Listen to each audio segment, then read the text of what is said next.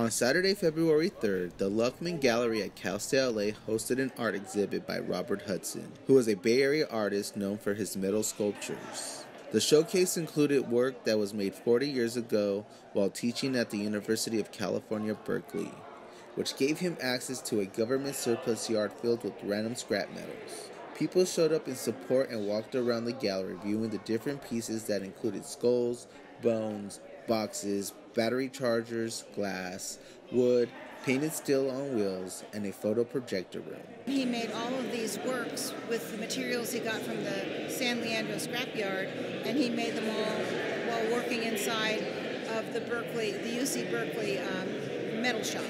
And so these works are very uncharacteristic of Bob, whose work is usually way more complex than this.